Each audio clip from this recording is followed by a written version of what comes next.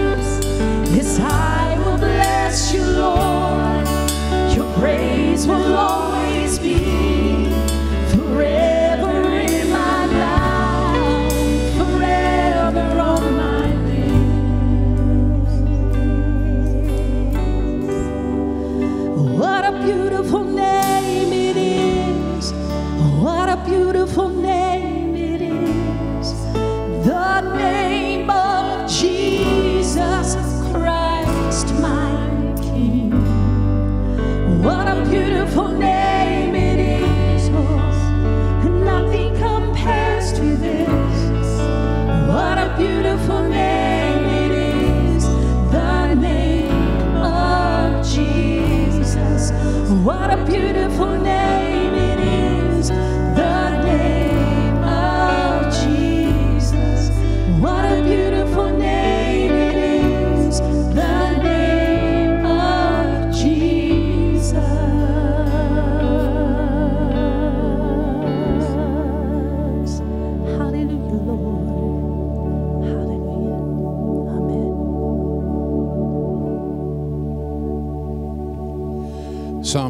6, it says, Sing to the Lord a new song. Sing to the Lord all the earth. Sing to the Lord, praise his name. Proclaim his salvation day after day. Declare his glory among the nations, his marvelous deeds among all the peoples. For great is the Lord and most worthy of praise. He is to be feared above all gods. For all the gods of the nations are idols, but the Lord made the heavens. Splendor and majesty are before him. Strength and glory are in his sanctuary. Lord, we just we, we proclaim your greatness today. We speak it out loud that you are amazing in every way, that you are powerful beyond understanding. God, that you are great in every way, that you are faithful to the very end. And Lord, we, we, we say that today. We, we proclaim it today. Everything you are, we worship you. You are worthy of our songs, of our voices, of our hands lifted, of our attention. And Lord, we thank you for these moments right now in the mighty and strong name of Jesus. And everyone said, Amen. Amen. Amen. You may be seated this morning.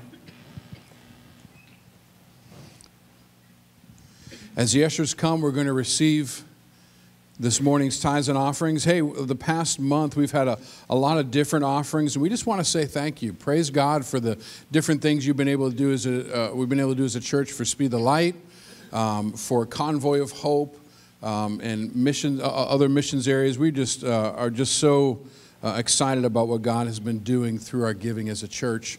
And uh, let me let me pray today, Lord. Thank you that we get again to express uh, our worship to you in giving. And I pray that as we give today, uh, it just comes from hearts that are full of gratefulness, uh, hearts that uh, recognize that you own everything. And this giving today is a reflection of that fact that, God, you own it all. We love you, and we say thank you in Jesus' name. Amen.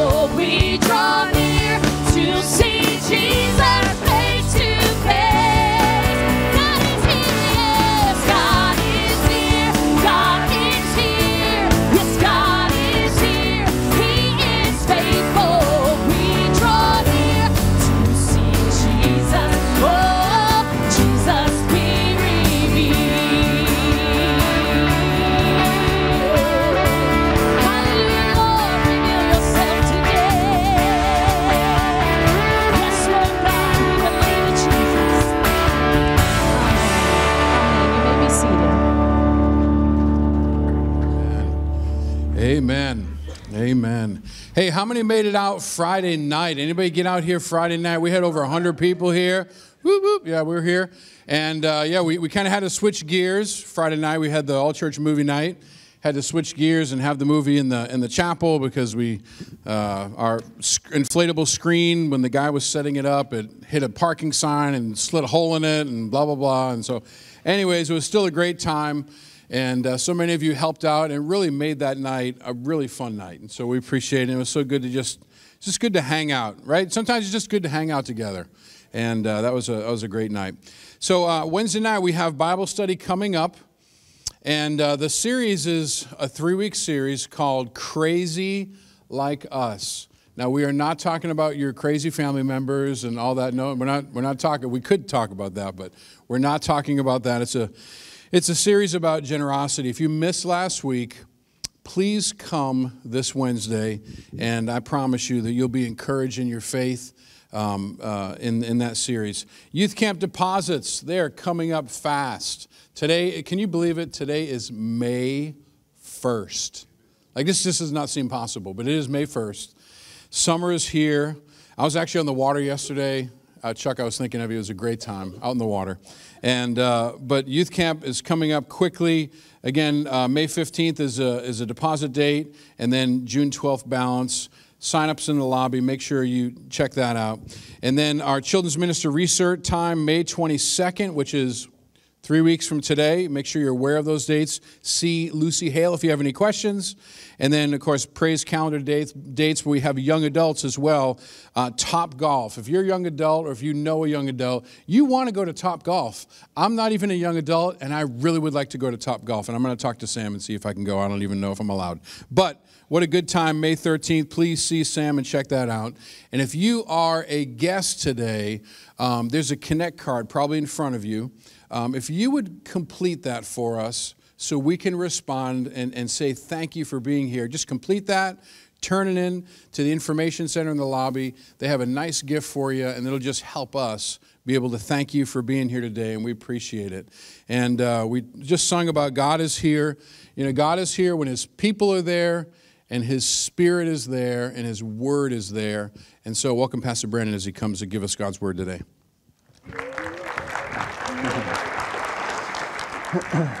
Good morning. So I didn't know if I wanted to share this today with you, but Lynn and I are now proud parents. I gave birth to a six millimeter kidney stone this week. Praise the Lord. if you've ever had the experience, it's been a trying week. And today, actually, honestly, is the first day I've had no, no pain.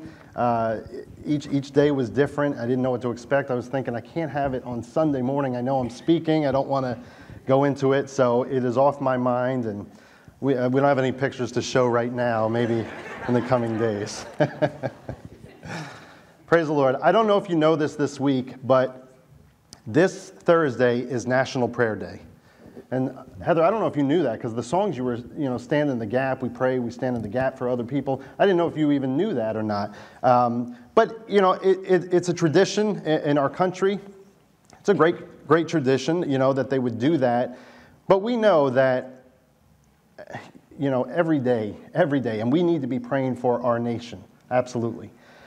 And each one of us uh, should be developing a prayer life.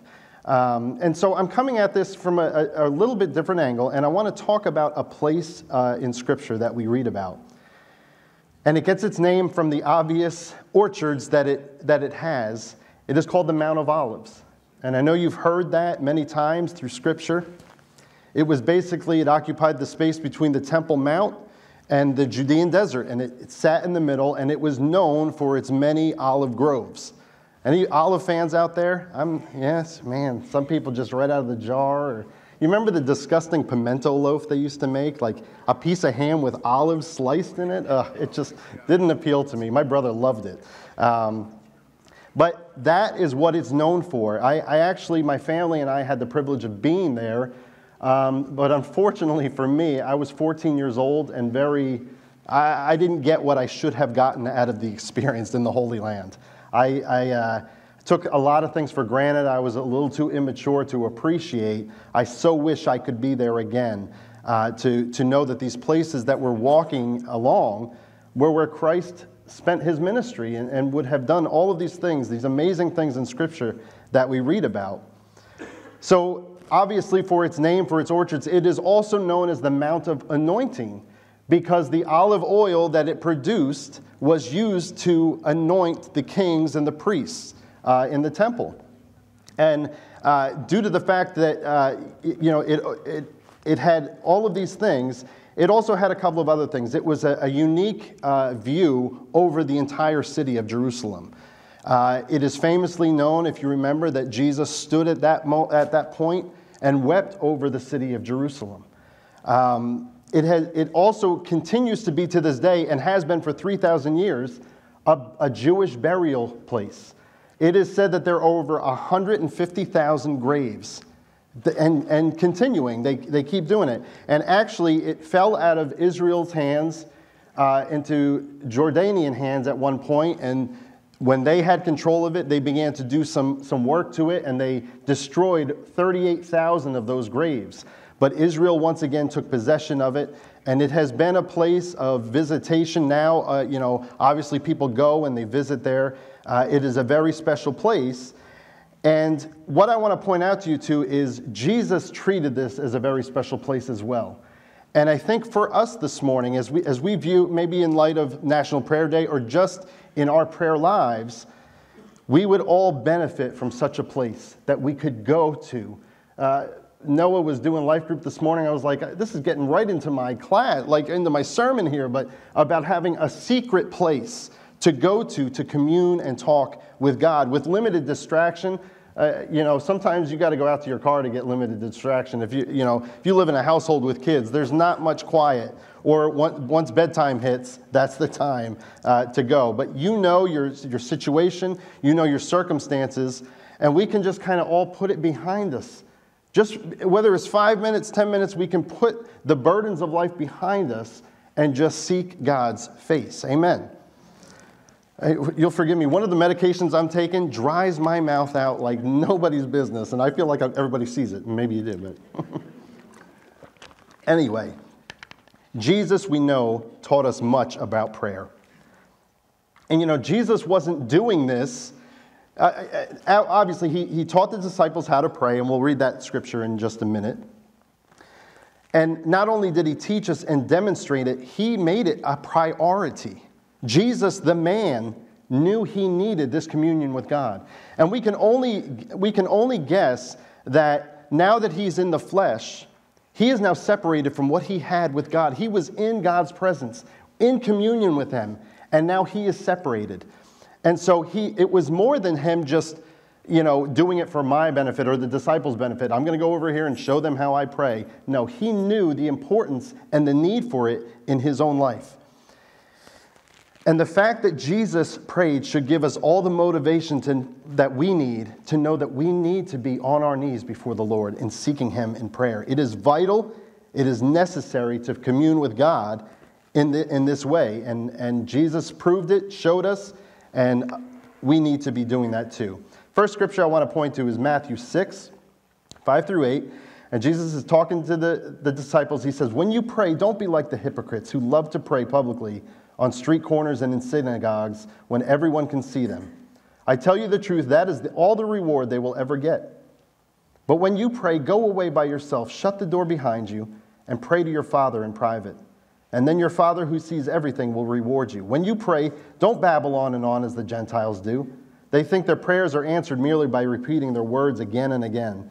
Don't be like them, for your Father knows exactly what you need before you even ask Him.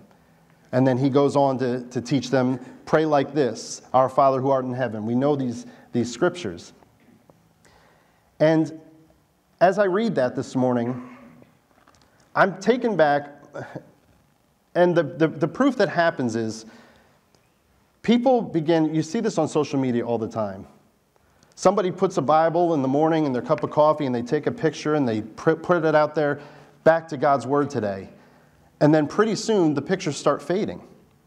And it's like we all get this motivation that, oh, we got to get back to this. And then we begin to dwindle again.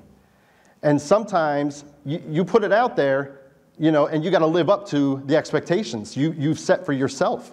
Uh, I, have seen this, I, I follow this guy on YouTube that does a lot of worship tutorials like songs, you know, shows you how to play the songs on guitar, and he's got a great channel and everything. Well, he started this separate one that was going to follow his weight loss. And it went about a week, and then it went two weeks, and then no more videos.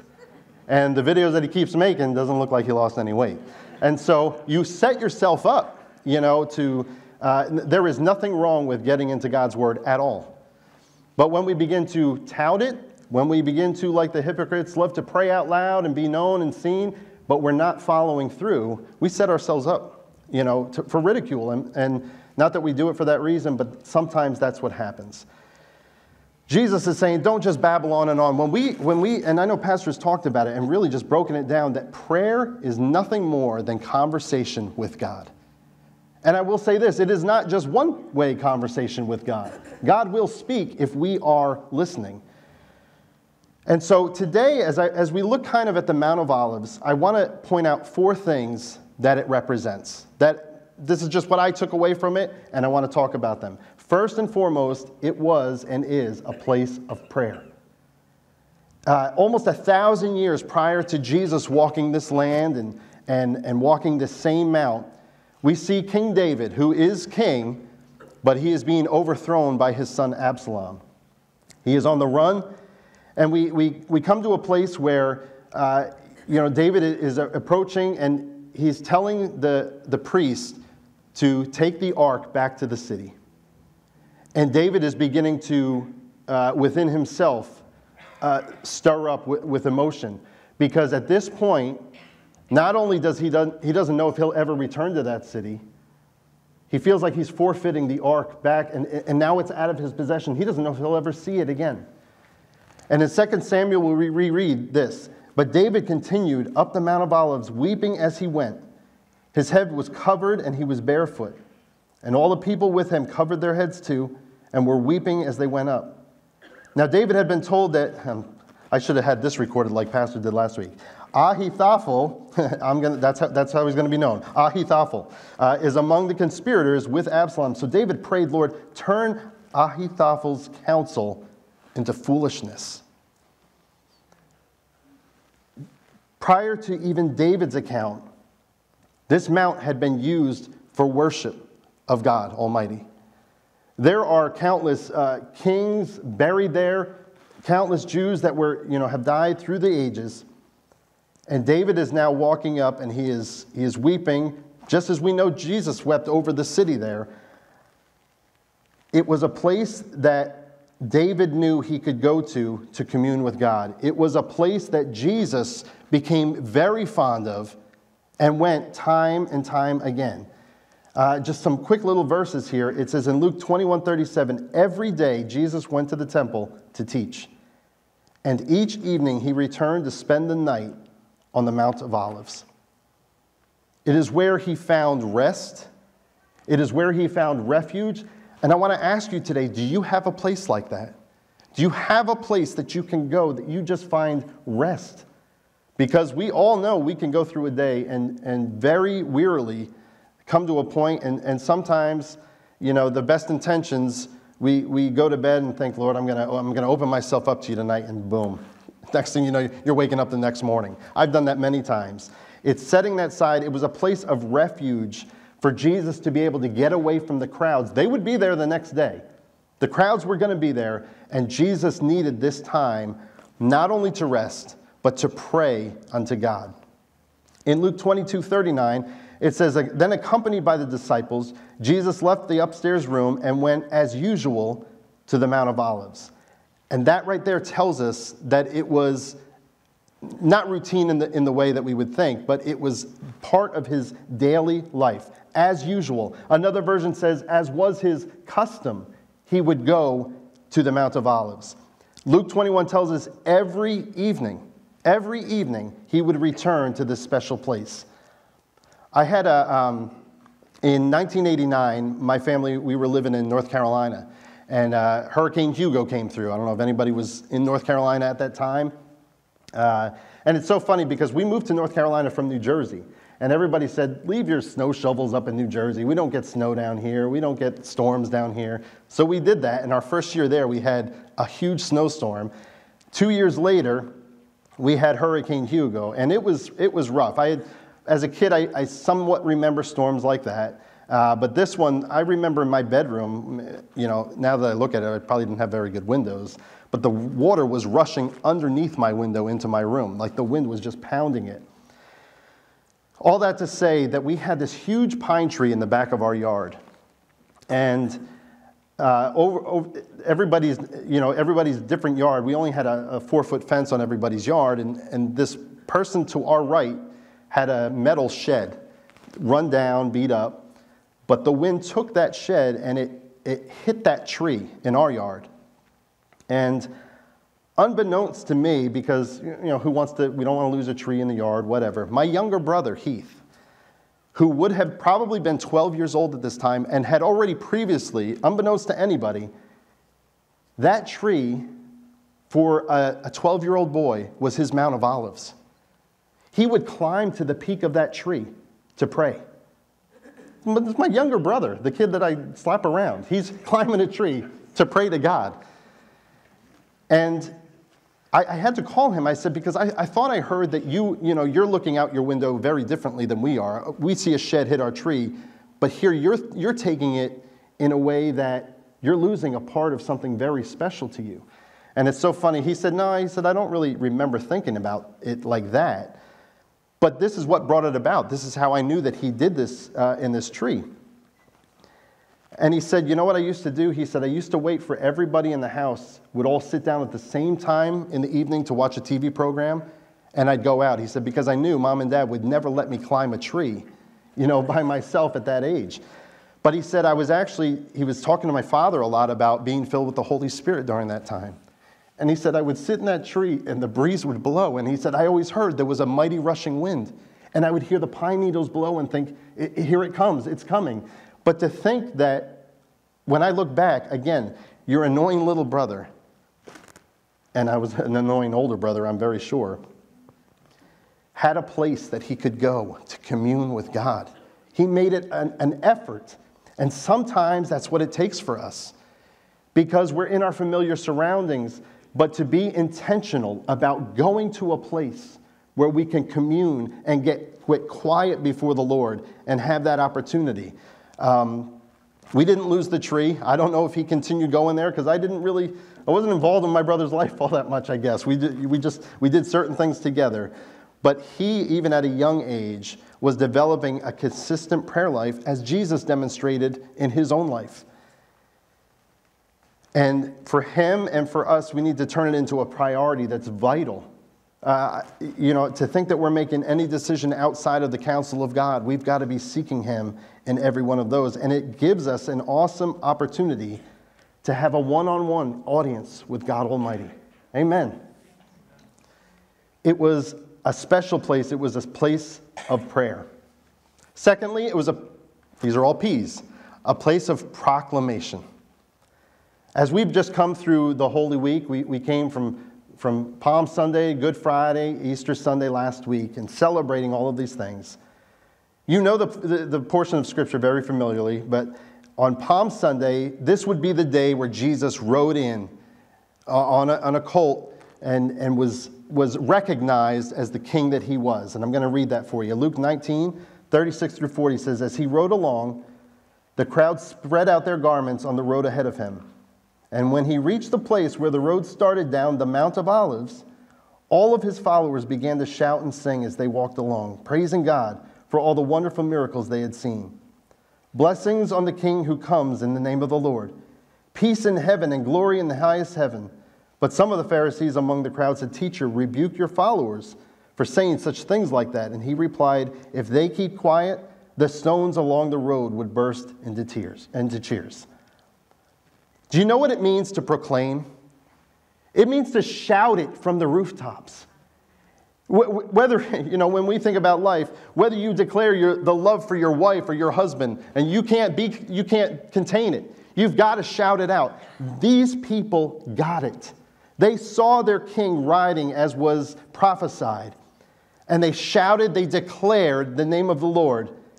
And it, it, they do this in order to make it known. And as we know, um, it, it, says that they, uh, in this verse, that they began to shout, Blessed is the King who comes in the name of the Lord. I want to ask you, what, is your, what do you proclaim today? What, what would people say about you? Because we can give a lot of different information. Um, you know, again, if, if people are surprised that you're a Christian, you're probably not proclaiming what you should be proclaiming. Um, but I would dare say this too just like when, when you put yourself out there, if you are proclaiming the name of the Lord, you need to be walking that walk because people will see right through it, right through the hypocrisy.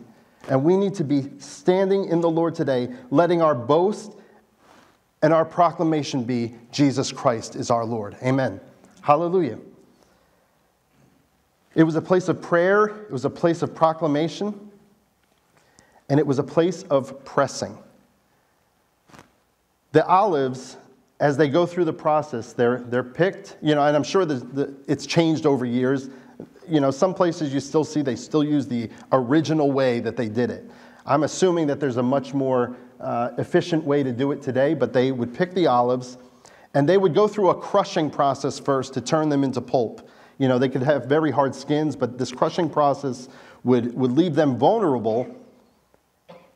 And then they would go through what's called a pressing.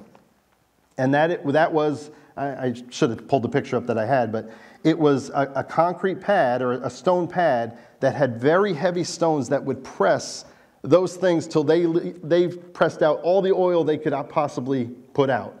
You know, they, they went under this tremendous pressure. And what's, what's really cool to me is the, the Garden of Gethsemane. We know this phrase, we, we've heard it time and time again throughout Scripture and throughout sermons and everything, stories. There is an olive grove called Gethsemane. It is in the Mount of Olives, but it is a, it is a smaller grove. The word Gethsemane is derived from two Hebrew words. The first is Gath, which means winepress, and the second is shemen, which means oil, which is where we get an oil press. This is what the, the, the job of the, that press was to do. They went through the crushing process, they went into the heavy, intense uh, stone blocks to extract their oil. It is said, actually, that some of these trees, in still, still to this day in the Mount of Olives, are 2,000 years old. Some are 1,000, some are 2,000. To think that these same trees are the ones that Jesus may have walked past, would have, would have been by. But it is said that the ones that are oldest bring forth the best oil. The most natural, clean oil are the older trees. And I can't help but feel that when we look at this process, we can't help but see the parallels between what Jesus Christ did on behalf of us. It was here in Gethsemane that we read in, in Matthew 26. Then Jesus went with them to the olive grove called Gethsemane. And he said, Sit here while I go over there to pray. And he took Peter and Zebedee's two sons, James and John, and he became anguished and distressed. He told them, My soul is crushed with grief to the point of death. Stay here and watch with me. And he went up a little farther and bowed his face to the ground, praying, My Father, if it is possible, let this cup of suffering be taken away from me. Yet I want your will to be done, not mine. Luke's gospel account, he writes this Then an angel at the same time from heaven appeared and strengthened him, and he prayed more fervently, and he was in such agony of, of spirit that his sweat fell to the ground like great drops of blood. Jesus actually using the words, My soul is crushed and the agonizing and the suffering that he would go through and this pressing. That, that's the image that I get. And yet, his prayer through all of this, you know this, we use this all the time in so many scriptures. His prayer was, Yet not my will, but yours be done. And that should be our prayer as well. All of this was the night before the crushing of his physical body he would endure on the cross for us. And as the olive is pressed between these heavy stones uh, to, to release this oil, so too did the weight of my sin and your sin press upon the man Jesus Christ, the Savior. And yet he did it willingly for you and me. I think it's a beautiful picture. Beautiful in terms of its, its analogy, but just such a humbling experience for each one of us as we've, again, I, I didn't speak any time leading up to Easter, and I'm not just trying to bring us back to Easter because I didn't get to speak on Easter. This is something we, we should be facing and recognizing of what Jesus Christ did for each one of us. So it was a place of pressing. And finally, today I want to say it is a place of promise. It is a place of promise. After Jesus was resurrected, and you know this well, he was reunited with the disciples. And he, for 40 days, made appearance to many others and spent time with them.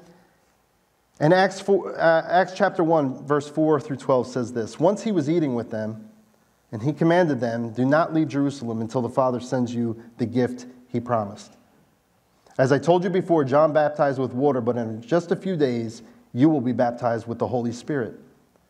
So when the apostles were with Jesus, they kept asking him, Lord, has the time come for you to free Israel and restore your kingdom? And he replied, The Father alone has the authority to set those dates and times for they, and they are not for you to know.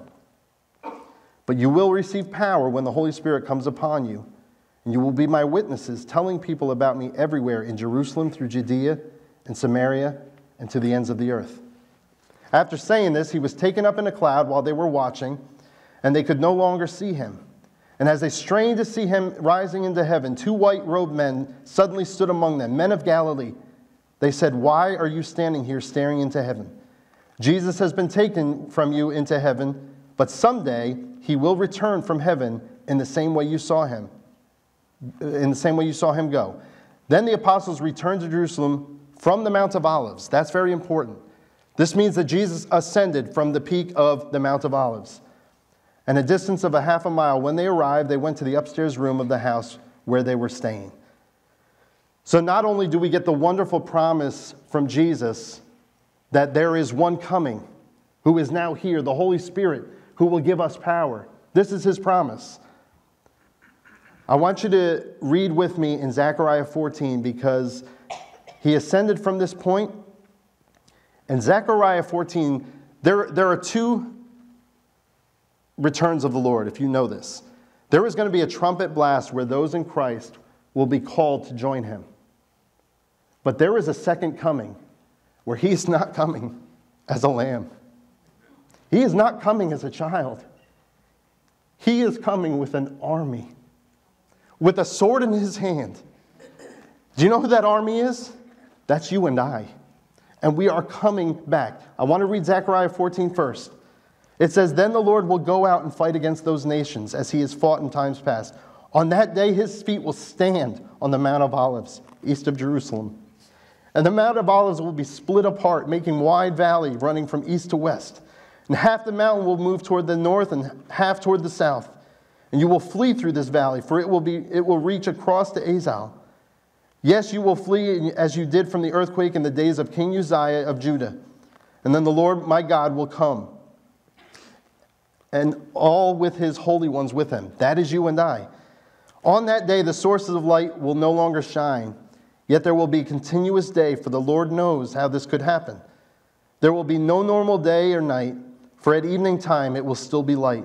And on that day, life giving waters will flow out of it from Jerusalem, half toward the Dead Sea and half toward the Mediterranean, flowing continuously in both summer and winter. And the Lord will be king over all the earth. On that day, there will be one Lord, and his name alone will be worshiped. Hallelujah. That day is coming. And as I said, this is in Revelation 19. Here's what it says Then I saw heaven opened, and a white horse was standing there, and its rider was named Faithful and True, for he judges fairly and wages a, a righteous war. His eyes were like flames of fire, and on his head were many crowns. A name was written on him that no one understood except himself. He wore a robe dipped in blood, and his title was the Word of God. The armies of heaven, dressed in the finest of pure white linen, follow him on white horses, and from his mouth came a sharp sword to strike down the nations. He will rule them with an iron rod. He will release the fierce wrath of God the Almighty, the juice flowing from, a winepress. On his robe and on his thigh was written this title King of Kings and Lord of Lords. That is the Jesus that is coming back with an army of believers. You and I are going to look real good dressed in white. Real good. The Mount of Olives this morning is a special place, still remains there to this day. And what I want you to take away from this today is I have said this it is a place of prayer, proclamation, pressing, and promise. And I want to encourage you today that if you and I will find that quiet place to pray, and that in that place we will proclaim the name of the Lord.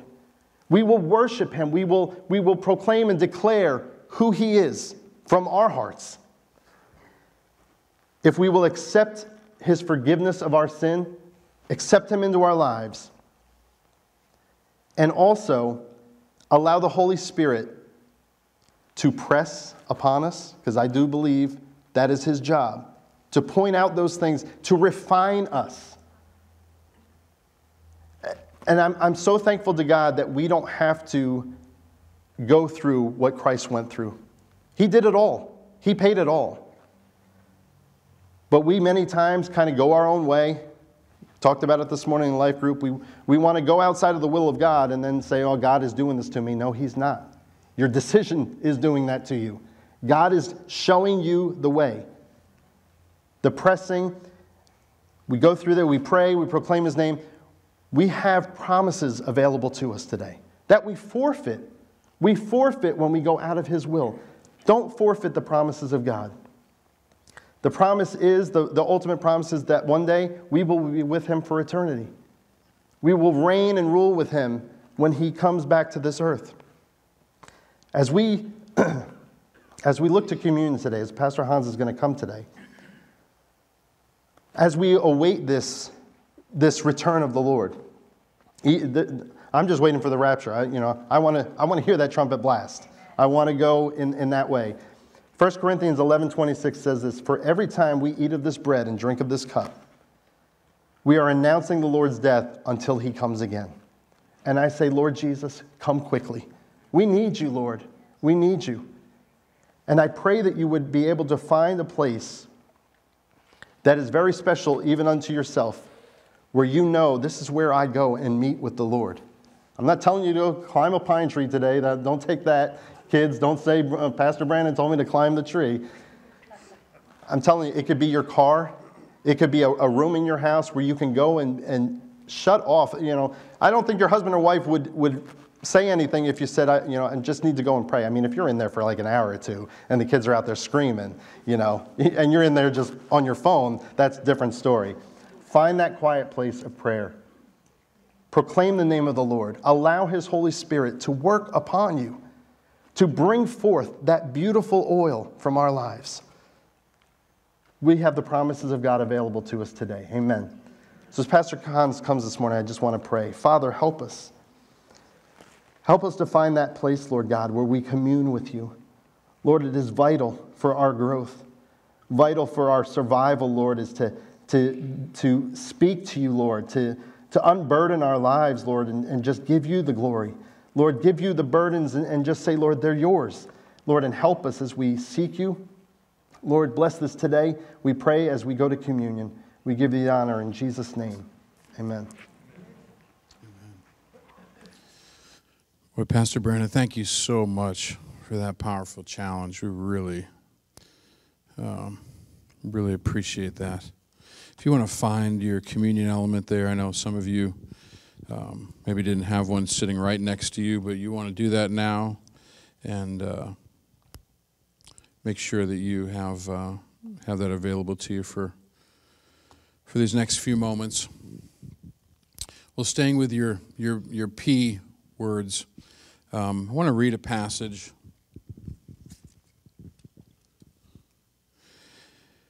In 1 Corinthians 11, verse 27, says, Therefore, whoever eats the bread and drinks the cup of the Lord in an unworthy manner will be guilty of sinning against the body and the blood of the Lord. A man ought to examine himself before he eats of the bread and drinks of the cup. For anyone who eats and drinks without recognizing the body of the Lord eats and drinks judgment on himself. And uh, that used to be a passage more often used when we receive communion. We're going to call this a, a time to probe, to allow the Lord to, to really search us for a moment. And um, one of the things, if you read that passage in 1 Corinthians 11, is at the time of the Lord's Supper, of remembering the body and the blood of Christ, what we would call communion today, was very much a time of not you and I individually, but us and we. And uh, how people treated each other, being first, putting others first, that matters when we're receiving. And uh, it used to be kind of tradition or, or really not uncommon when people receive communion that they would kind of not receive it if they had problems with each other, even within uh, a church. And I'm not asking you to not receive today, but I am uh, asking you this that remember your relationships with, with each other really matter to God. Super important. That was the problem with the Corinthian church. It was all about themselves, and they didn't care about that relationship with each other. They were more interested in their own needs and their own everything than what was happening in the, the, the, the body in a, in a greater way. And so this morning, I want to just take a moment. Uh, there's no music playing, it's just silent here, but I want you to take a moment and just allow the Holy Spirit to probe, examine your heart. And if there's something, maybe, uh, have you ever had this happen? Something happens, something said, and you just sit on it for days and weeks, and you know what's going on. And maybe right now you need to say, Lord, forgive me. Forgive me for the part I played. Forgive me for, for letting an emotion rule me in that moment and not you. But let's just take a moment and do that, and then we'll receive together in just a minute.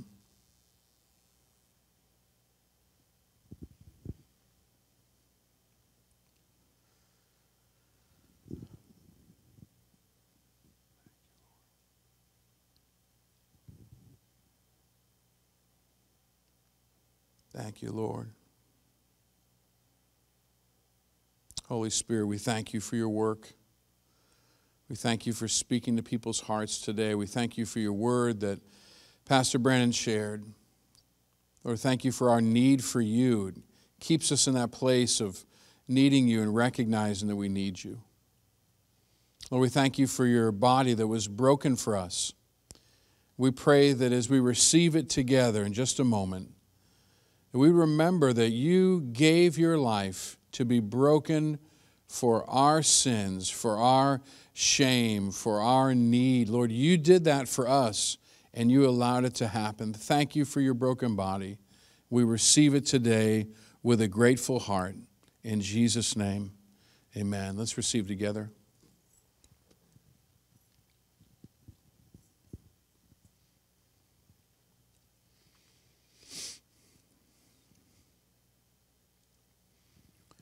Lord, thank you for your blood that was shed. Lord, what can we say other than thank you? What can we say other than, Lord, we are grateful for your blood that was shed for us. Again, which you gave your life freely. Thank you for the power that is in your blood, the perfect sacrifice, the, the sacrifice that was once and for all. And we are grateful to celebrate and remember you today and your blood that, that not only washed us clean once, but continues to do that. Lord, thank you for this moment and for being able to receive this in Jesus' name. Amen. Let's receive together. Could we stand together this morning? The Mount of Olives was a place of prayer, remember? Who can tell me? Well, actually, I won't call that out because that'll take forever. It was a place of prayer. Remember, it was a place of promise. It was a place of proclamation. It was a place of pressing. I didn't go in the order of pressing. And uh, whatever in your life, maybe you're in one of those places where, God, I need one of your promises, or you're in that place of pressing, or whatever it is, we want to pray for you today that God would really work and minister in your life. Lord, thank you that for even you, Jesus, you had a place. You're the Son of God. You could have picked any place. Lord, you picked a very interesting place. Lord, a place with tremendous history and tremendous meaning. And that was a place that you just love to be with your Father. And Lord, across this room, Lord, let everyone here find that place if they don't have one. Lord, make it a place where they can uh, experience you, to be able to proclaim your goodness, your mercy, your kindness over their life, and your promises over their life. And Lord, when life is pressing them, they can have a place to go. Lord, I pray blessing over them. And during these times of prayer, Lord, I pray you do miracles in their life, that you would uh, accomplish things that they could never accomplish. Do miracles in their life that they could never have imagined, not only in their lives, but in the lives of people that they pray for. God, we thank you for um, a, a, church where we love the Word of God and where we uh, realize we need to be continue to grow and to be a people of prayer. And I pray that this coming week, that would, you would use our prayers in a powerful way as a church to move your kingdom forward and to see you, Jesus, uh, be brought um, more up front in our lives and everything we do and say. Bless your people today, from the youngest to the oldest, as we go. Help us to be a light wherever we go. In Jesus' name, amen.